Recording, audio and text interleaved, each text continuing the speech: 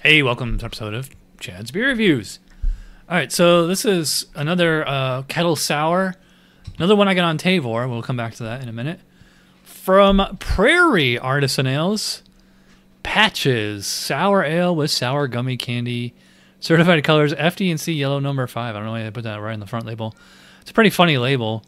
A guy give another guy a wedgie while his wife yells at him. I don't get it canned uh, just before Christmas last year, so kind of old. I'm, I do not know why I sat on this for so long. All right, pour it into my Chad'z Beer Reviews Nonic pint glass. Link in the description below if you want to get your own. And it kind of looks like a, um, almost like a macro lager where it's uh, kind of yellowish or goldish, um, pretty hazy. So I mean, it looks. I know this can't. this lighting doesn't do it justice, but um, I can actually see little particulates floating around in there. Very highly carbonated, and I did get, you know, nice two two or three fingers of foam. Let's give it a smell. I will say this smells exactly like what they're going for. It smells like Sour Patch Kids candy, like a bag of that. Um, I mean, they actually say that it's brewed with. It just says sour gummy candy, but they can't like. I guess you know for legal reasons. They maybe it might not actually be Sour Patch Kids. It could be the Aldi knockoff brand or something. But yeah, it just smells like sour gummy candy. Um, it does have a kind of um, Berliner Weiss kind of quality to it. Like I almost get like I think like a little bit of like coriander or orange peel or something like that. Maybe salt, but nah, I don't think salt. But um, I mean it's like a bit of a sea breeze character to it. But otherwise, I mean it just smells like Sour Patch Kids candy. I'm, I'm surprised there's not tons of beers with a Sour Patch Kids, you know, parody or something like that. But anyway, let's see what this one's about. Cheers.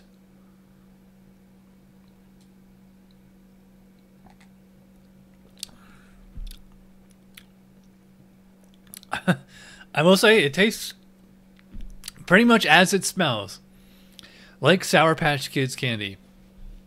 I might know it has a uh, def- it definitely has like a lot of um, crossover between uh, like Urban Artifact and some of the other you know kettle sours. Um, it just has like that. I think it's malic acid. That's like the uh, that's what gives uh, sour candy its sourness. Yeah, so it's sour, but at the same time, it's like oddly refreshing. Then again, a Berliner Weiss also is too, and that's a sour beer. Um, I wouldn't. Yeah, I would not say this is salty. Not at all. And it does have a like a slight, slight kind of um, maybe coriander or um, some kind of like herbal quality to it, or maybe I mean it's just like maybe it's just like in my head. Um, oh, that's funny. They did say certified color is yellow number five or whatever. So I mean that would probably explain the yellow. I bet you like when this before they add the coloring, it's probably like a really gross, like gray color or something like that. I was say it's actually really refreshing. While it's on my tongue, there's a nice level of sourness, but not like extreme. I mean, certainly enough to notice. It's interesting because like it's sour, but it's really not that tart. If that makes sense. I mean, well, it's a little tart. I get. You know what it reminds me of? I think what I'm thinking of. It has like a bit of a Sprite quality to it. A little bit of lemon lime kind of flavor in there. It's like I want to chase this with a uh, a bottle of Sprite. I'm trying to like dig down in there and like get like the actual base beer thing.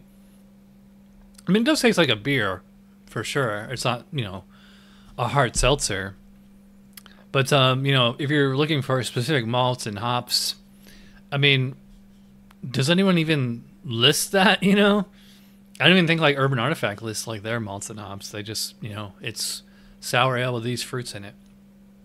And I will say, even though like it's clearly the Sour Patch Kids candy kind of taste to it, it doesn't taste like fake, oddly enough. Like it doesn't have any kind of like cloying, you know, artificial sweetener or like some kind of artificial flavor, even though I'm sure it is artificial.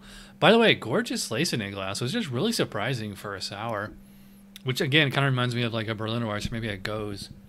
I think this would be like a really good introductory sour, you know, because like a lot of people have had Sour Patch Kids candy or, you know, variants. or knockoffs or whatever. So like have that flavor in beer form would be pretty familiar. Like I said, this is sour, but it's not like too intense. I, I would say like the actual Sour Patch Kids candy is probably actually more sour than this beer. Um, before we get into the rating, gotta plug Tavour. This was only five ninety nine for this can, which is like half of what I would pay for Prairie at one of the beer stores around here. Usually they're like ten to twelve dollars just for a twelve ounce can or bottle. Um, when I saw this was only six bucks, I'm like, wow, that's a bargain for Prairie. So you know, I grabbed it. I thought, I thought that was a pretty fair deal. So use my link. That'll get you ten dollars off your first purchase, which means you could have got this beer, and then another, you know, had another four bucks off another beer. So it's like, you know, um, or you know, almost two of these beers for free on your first purchase. All right, so my score for patches, sour ale with sour gummy candy. Again, uh, well, I don't know if I would say great label. Like the checkerboard pattern is interesting. Like the cartoon characters is funny. Um, but th- yeah, so this is probably like a. I'm gonna give the label a uh, B, maybe B plus. I will be I will be saving this though. I'm gonna give the beer. Hmm, I think seven and a half, maybe eight. So kind of in that B to B plus range. Um, you know, I like that tasty Sour Patch Kids candy flavor to it. My only complaint is like it's just kind of simplistic and repetitive. And um, you know, I will say it does drink like a beer. I do like that the refreshing quality on it, and it's you know nice 5.5 ABV. By the way, I didn't really mention mouthfeel or anything like that, so um, you know, probably put it like medium light body and like high carbonation. I think the high carbonation kind of helps with the uh, refreshing acidity on it. I'd like to know more about the beer, but like you know, I tried to look it up, and all I could find was just whatever they said was just whatever was on the label here. So I don't know. I'd like to know more. All right, so yeah, patches from Prairie. Pretty good, pretty good sour. A little fake, a little one note, but really tasty and really refreshing, easy to drink. So check that out on Tavour, and I will see you guys for the next review. Cheers.